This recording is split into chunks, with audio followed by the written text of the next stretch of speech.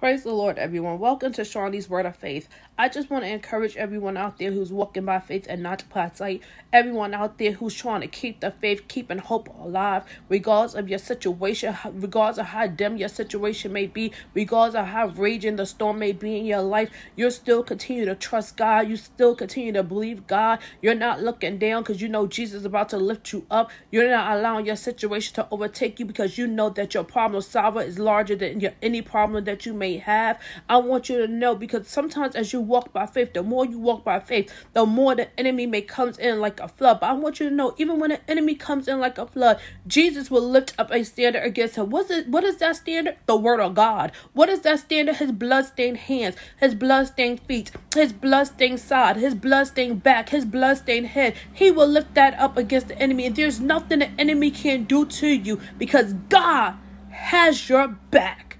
Believe that.